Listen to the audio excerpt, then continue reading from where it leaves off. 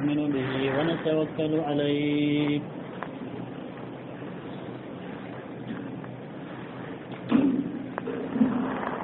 ونعوذ بالله من شرور أنفسنا ومن سيئات أعمالنا.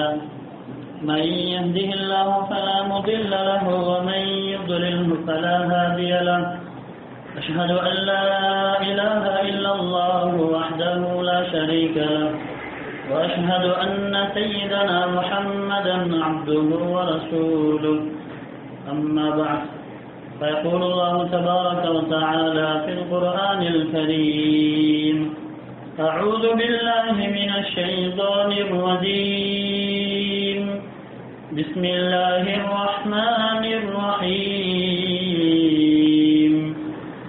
الرجال قوامون على النساء بما فضل الله بعضهم على بعض وبما أنفقوا من أموالهم.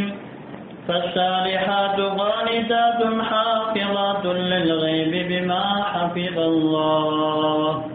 إلى آخر الآية. صدق الله العظيم. عن أبي هريرة رضي الله عنه عن النبي صلى الله عليه وسلم إذا قضى الله الأمر في السماء ضربت الملائكة بأجنحتها خضعا لقوله كأنه سلسلة على صفوان. فإذا فزع عن قلوبهم قالوا ماذا قال ربكم؟ قالوا الحق وهو العلي الكبير. رواه البخاري كما قال صلى الله عليه وسلم. الله أربان أمن تنيتوان அவனுக்கு பெற்றோர்கள் கிடையாது குழந்தைகள் கிடையாது. அவனுக்கு நிகராக யாரும் இல்லை என்று சாட்சி சொன்னவனாக. அந்த அல்லாஹ் கண்களால் பார்க்கப்பட முடியாதவன் எண்ணங்களால் வெட்டப்பட முடியாதவன் வார்த்தைகளால் வர்ணிக்கப்பட முடியாதவன் என்று வல்ல இறைவனை போற்றி புகழ்ந்து குத்துபாவுடைய உரையை ஆரம்பம் செய்கின்றேன். சத்திய தூதர் சன்மார்க்கத்தின் போதகர் அன்புநபி செல்லல்லாஹு அலைஹி வசல்லம் அவர்கள் மீதும் உத்தம சஹாபாக்கள் தாபியங்கள் சபவ தாபியங்கள் இமாம்கள் உலமாக்கள் முஸ்லிமான முக்மீனான ஆண்கள் பெண்கள் அனைவர் மீதும் அல்லாஹுடைய சலாத்தும் சென்றும் உண்டாவதா? புனமிகை வெள்ளிக்கிழமை ஜும்மாவுடைய கடமையை நிறைவேற்றுவதற்காக அல்லாஹுடைய மாளிகையிலே யாத்திகாப்புடைய நீயத்தோடு நல்ல உள்ளங்களோடு கொண்டு அமர்ந்திருக்கக்கூடிய மேலான பெரியவர்களே அன்பிற்குரிய கணவான்களே சகோதரர்களே அற்பமான அழிந்து போகக்கூடிய இந்த உலக வாழ்க்கையில் எவைகளை எல்லாம் அடுத்து நடக்குமாறு அல்லாஹ் நமக்கு கட்டளையிட்டிருக்கிறானோ? அன்புணவை செல்லம் அலை வசல்லம் அவர்கள் வாழ்ந்து காட்டியிருக்கின்றார்களோ? அத்துணை நல்ல விடயங்களையும் அமல் விவாதத்துகளையும் நமது வாழ்க்கையில் முயற்சி செய்து எடுத்து நடக்குமாறும் எவைகளை விட்டும் புராணம் சுண்ணாவும் நம்மை தடுத்திருக்கின்றதோ தடை செய்திருக்கின்றதோ விலக்கி இருக்கின்றதோ அப்படிப்பட்ட பாவமான மோசமான அருவறுக்கத்தக்க செயல்களில் இருந்து முற்றுமுழுதாக நானும் நீங்கள் அனைவரும் தவிர்ந்து விலகி நடந்து கொள்ளும்படியாக முதலில் எனக்கும் அப்பால் உங்கள் அனைவருக்கும் வசையத்தும் நசீகத்தும் செய்து கொள்கிறேன். அல்லாவுடைய தக்குவாவை கொண்டு அன்பு கட்டளை பிறப்பித்துக் கொள்கிறேன். கண்ணியமான சகோதரிகளே பெரியார்களே அல்லாஹு மகான இந்த மனிதர்களை இரண்டு இனமாக படைத்திருக்கிறார். ஆண் இனம் பெண் இனம் என்று இரண்டு இனங்கள்.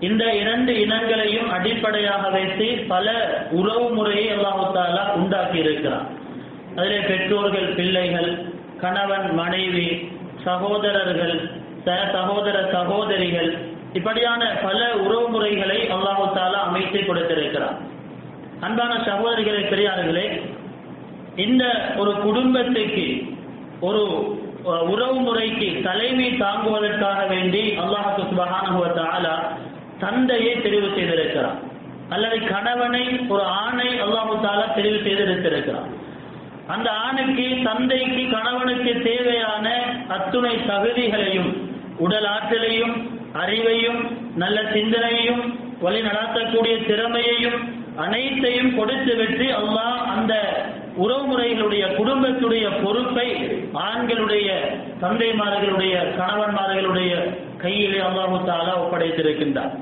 கண்ணியமான சகோதரிகளை பெரியார்களே இந்த குடும்பம் என்று பார்க்கின்ற பொழுது அந்த குடும்பம் குடும்பத்தார்கள் அதாவது அந்த குடும்பம் இருப்பதற்கு ஒரு இடம் வீடு என்று மொத்தமாக ஒரு ஆணுடைய பொறுப்பில் எவைகள் எல்லாம் இருக்கிறது எவைகள் உள்ளடங்குகின்றன என்பதை பார்க்கும் பொழுது பிரதானமாக மூன்று பகுதிகளாக பார்க்கலாம்.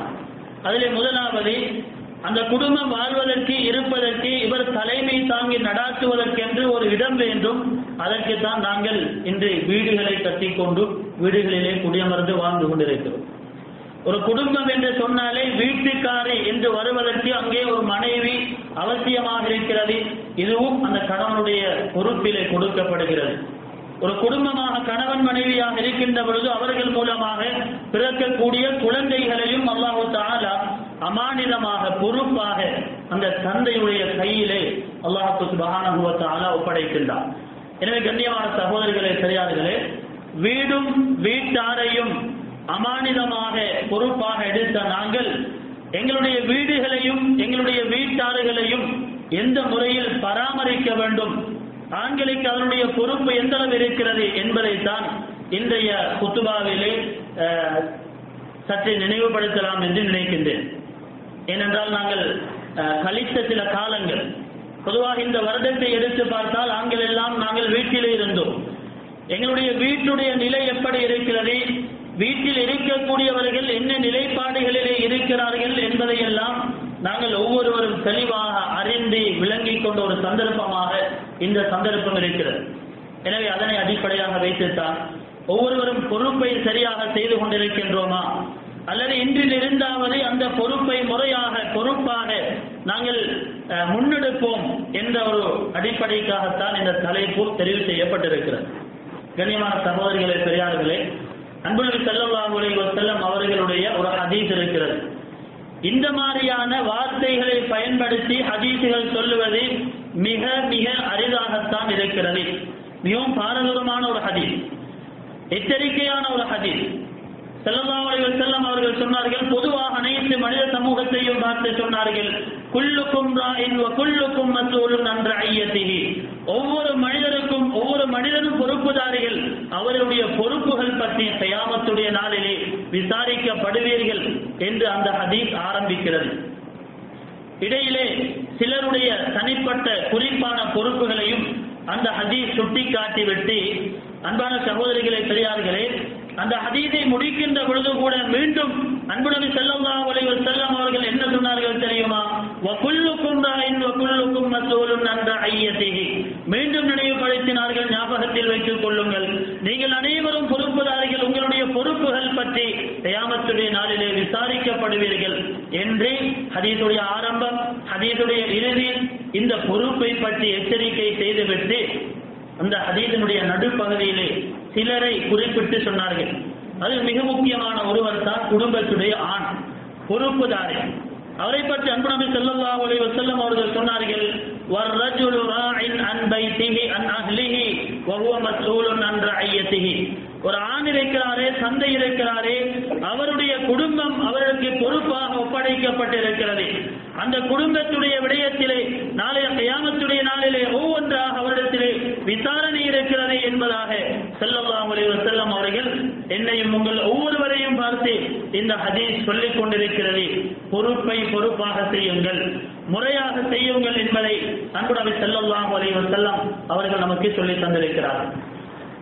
கண்ணியமான சகோதரிகளே பெரியார்களே முதலாவது நாங்கள் வீட்டை பார்க்கின்ற பொழுது இந்த வீடு அல்லாவுடைய மிகப்பெரிய ஒரு ஞாபகம் சாதாரணமான ஒன்று இல்லை இந்த வீடு இல்லாதவர்களிடத்தில் தான் அவருடைய அருமையும் பெருமையும் தெரிந்திருக்கிறது.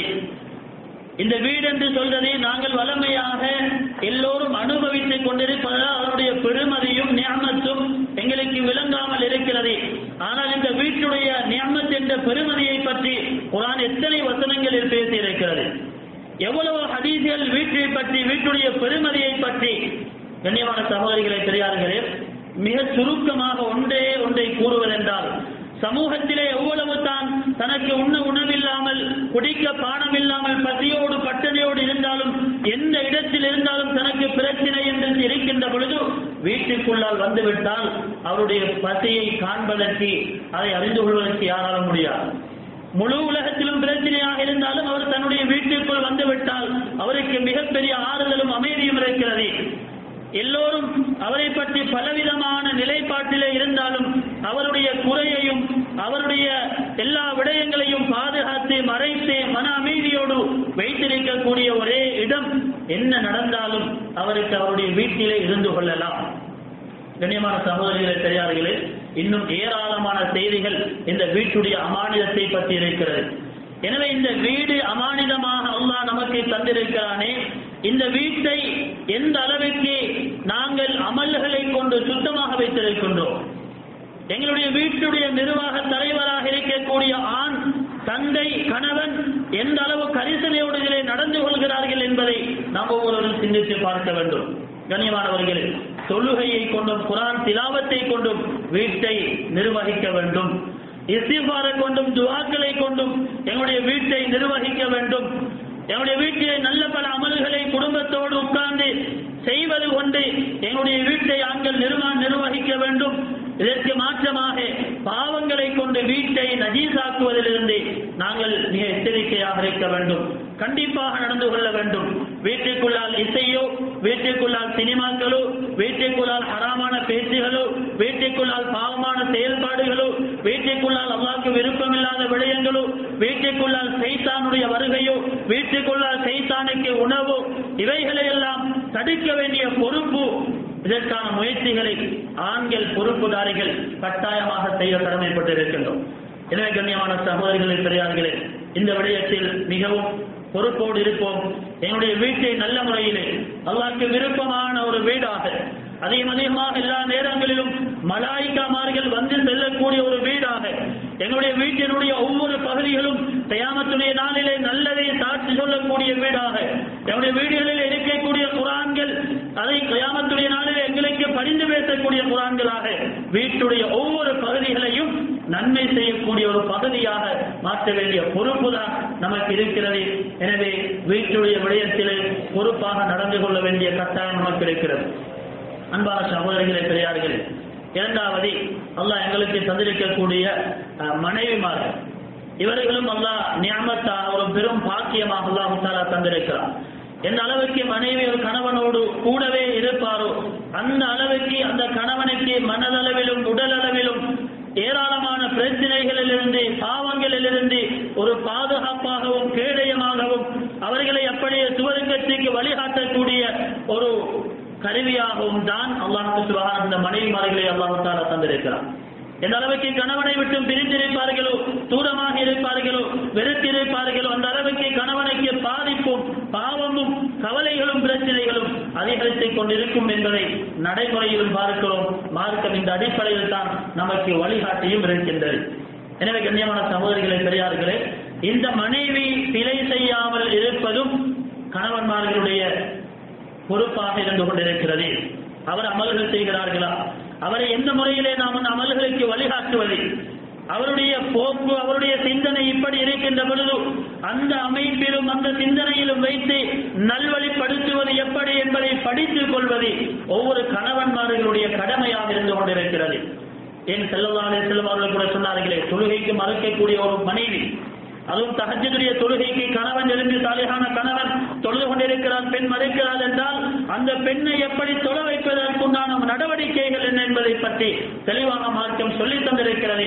எனவே ஒவ்வொருவருடைய மனைவியும் வேறுபட்டவர்களாக வித்தியாசமானவர்களாக இருக்கிறார்கள். அதே நேரத்திலே குறைபாடுள்ளவர்களாக இருக்கிறார்கள். இந்த நிலைமையில் வைத்துக் கொண்டு மனைவியை சுவர்க்கத்துக்கு அனுப்புவது எப்படி?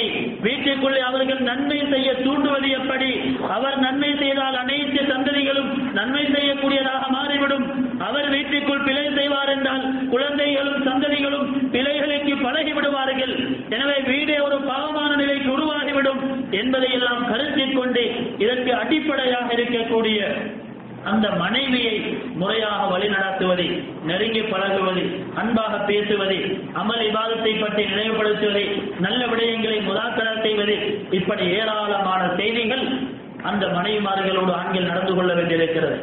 இந்த மனைவியை அமானிதமாக தான் தந்திருக்கிறார். நாங்களும் ஆரம்பத்திலே அமானிதமாகத்தான் இதை பொறுப்பேற்றிருக்கின்றோம். எனவே இந்த மனைவியை நல்வழிப்படுத்துகின்ற கடமை ஒவ்வொரு கணவன்மார்களுக்கும் இருக்கிறது.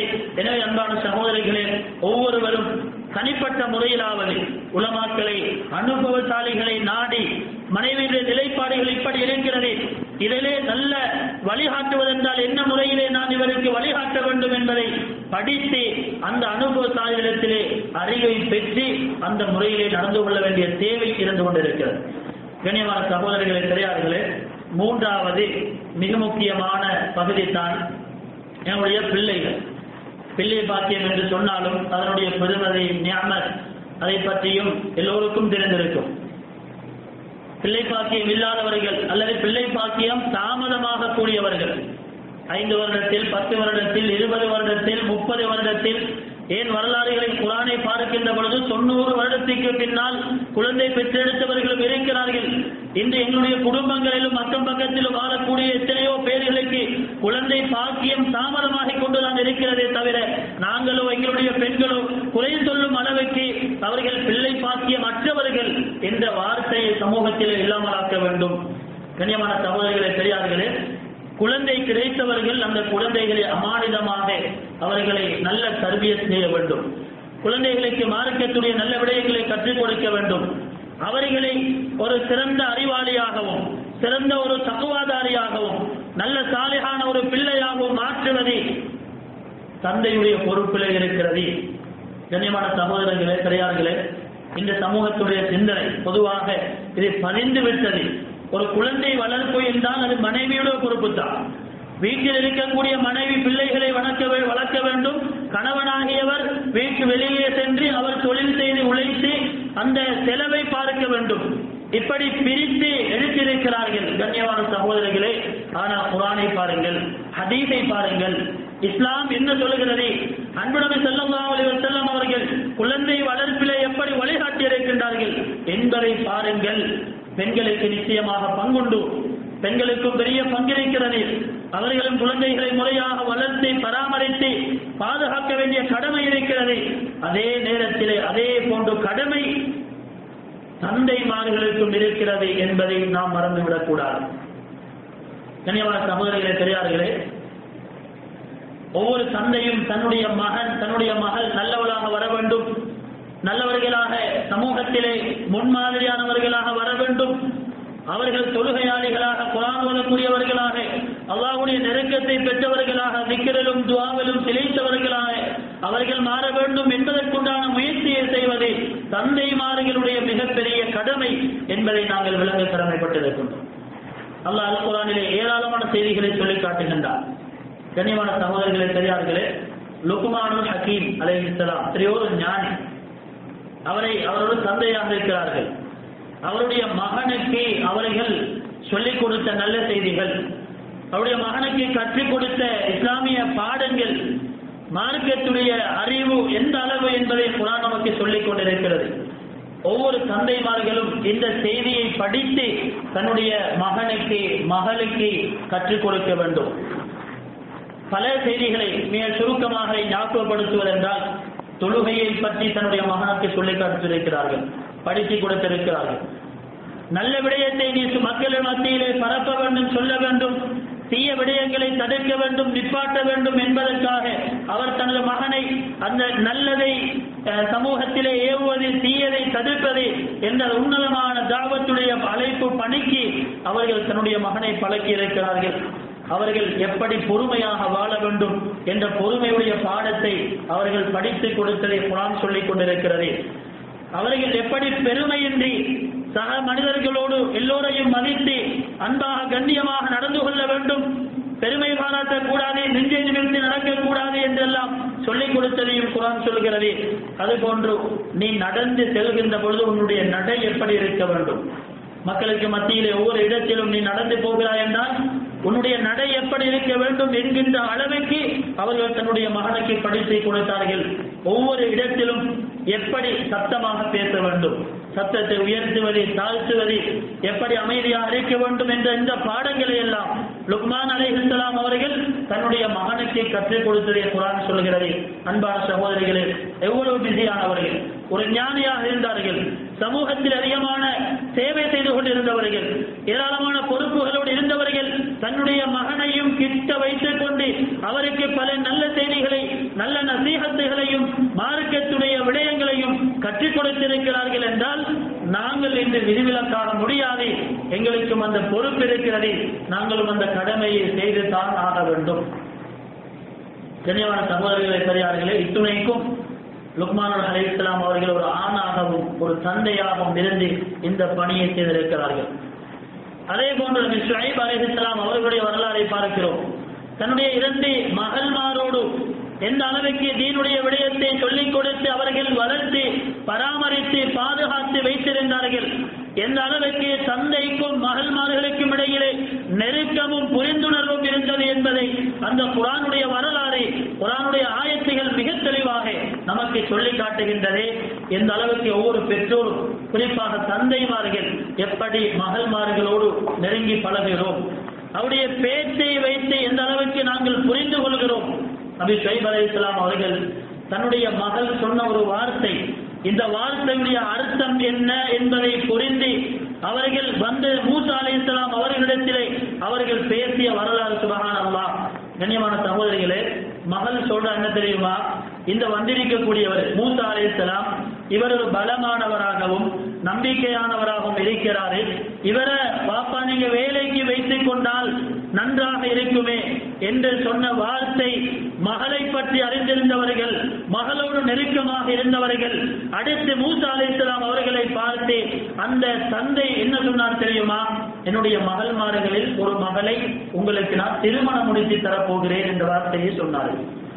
ஏன் மகனுடைய அந்த வார்த்தையுடைய அர்த்தத்தை புரிந்து கொண்டவர்கள் அல்லது மகனுடைய நிலைப்பாட்டை அவர்கள் அந்த பேச்சின் மூலமாக அறிந்து கொள்ளக்கூடிய அளவுக்கு நெருக்கமும் புரிந்துணர்வும் அவர்களோடு அவருடைய உறவுமுறை அந்த அளவுக்கு இருந்திருக்கிறது என்பதை இந்த வசனங்கள் நமக்கு தெளிவுபடுத்துகின்றது என்றால் எங்களுடைய பெண் பிள்ளைகளோடு இந்த அளவுக்கு நாங்கள் அந்நியோன்யமாக நெருக்கமாக சகஜமாக பல விடயங்களை பகிர்ந்து கொண்டு அவர்களோடு நடந்து கொள்ள வேண்டும்.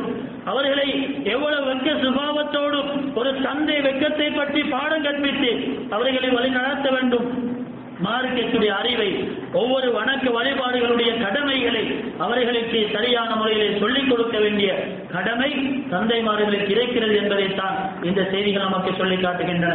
கனிவான சகோதரிகளே இதையும் தாண்டி இந்த உலகத்தில் ஆகவே பிஸியான மனிதர் அதிகமான வேலை பழுக்கள் ஏராளமான துறைகளில் மிகவும் வேலையாக இருந்த அன்புடமை செல்லல்லாஹு செல்லும் அவர்கள் கூட அவருடைய வாழ்க்கையை பார்க்கின்ற பொழுது பிள்ளைகளோடு அவர்கள் நடந்து கொண்ட முறை பிள்ளைகளுக்கு நல்லது சொல்லிக் கொடுத்த அந்த விதங்கள் பிள்ளைகளோடு பேச்சுவார்த்தை வைத்துக் கொண்ட விதங்கள் பிள்ளைகளை நெருங்கி பழகிய விதங்கள் அது மாத்திரமன்றி அனுமதியை பெற்று திருமணம் முடிந்த பின்னாலும் மகள் சாய்ந்து கொண்டிருக்கக்கூடிய அந்த கட்டிலே அனுமதியை பெற்று அவருக்கு நெருக்கமாக உட்கார்ந்து அவர்களுக்கு பல நல்ல விடயங்களை சொல்லிக் கொடுக்கின்ற அளவுக்கு உறவுமுறையை பேணி அவர்களோடு நடந்து கொண்டிருக்கிறார்கள் என்றால் அன்பான சகோதரிகளை பெரியார்கள் எங்களுக்கு எவ்வளவு பெரிய பொறுப்பு வர வேண்டும்?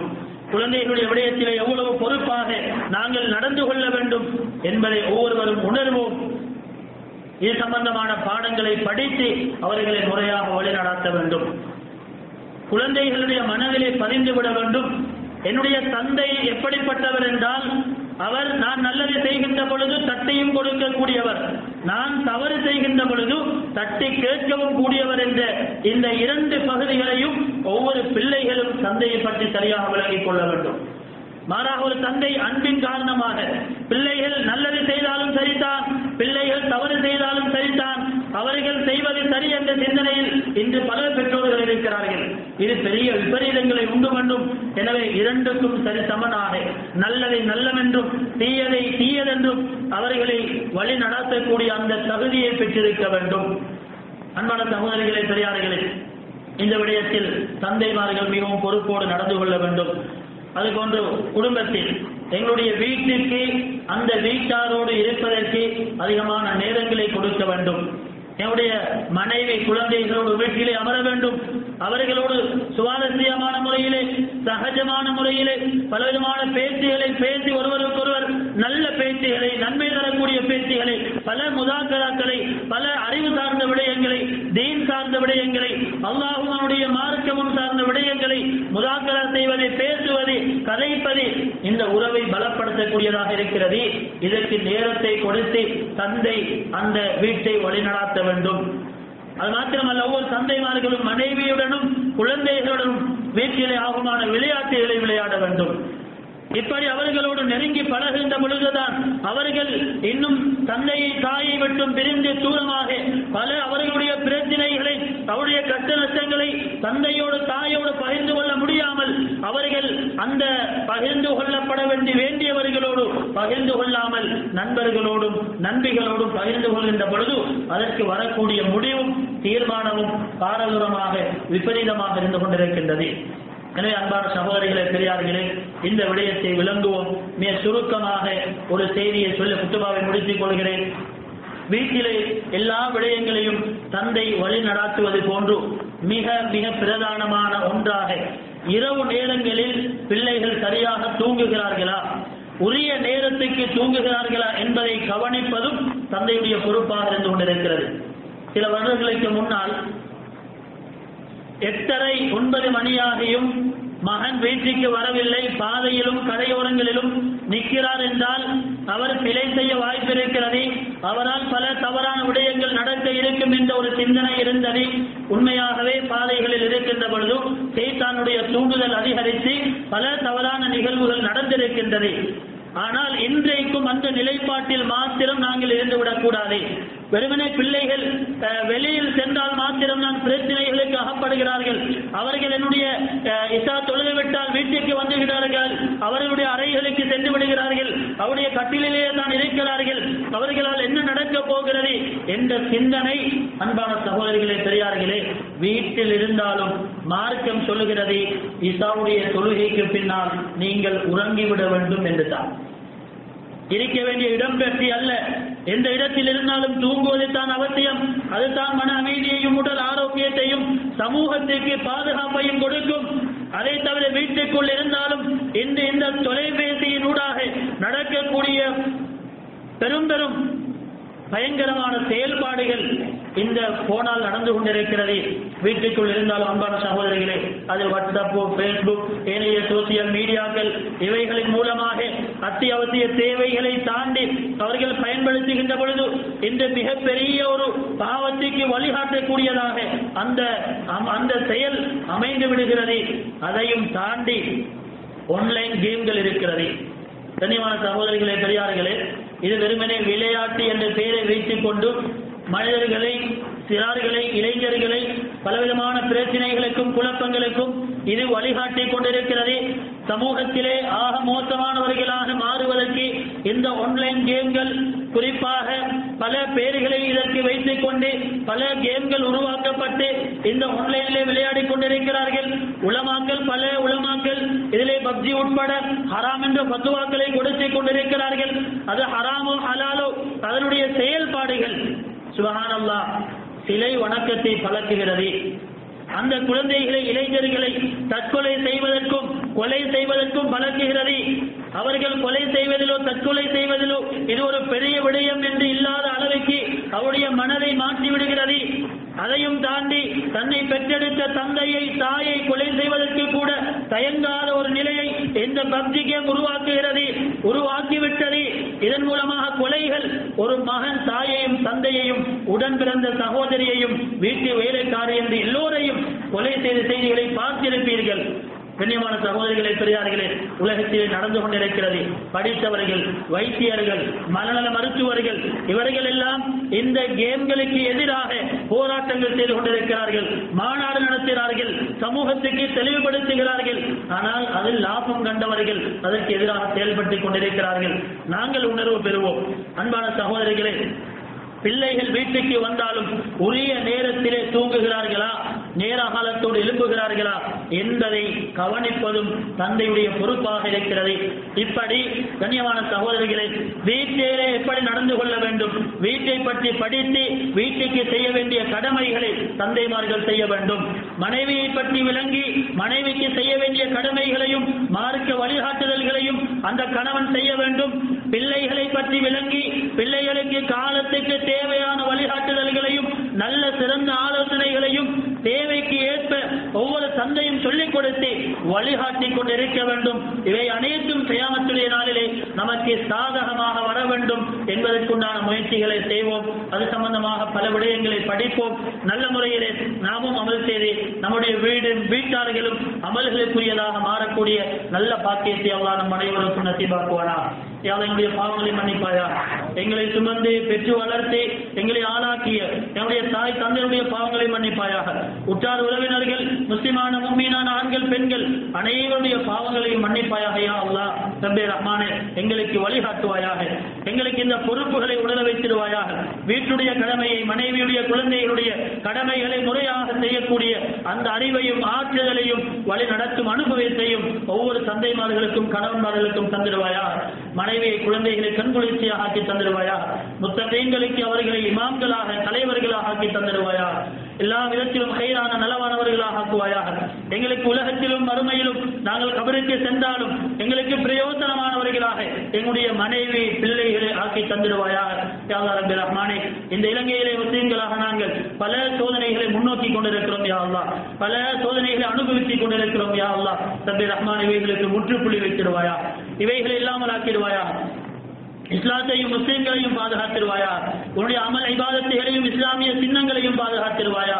யாவா ரபி ரஹ்மானே ஜனாதாக்களுக்கு நடக்கக்கூடிய அநியாயங்களுக்கு பாதுகாப்பை தந்துடுவாயா?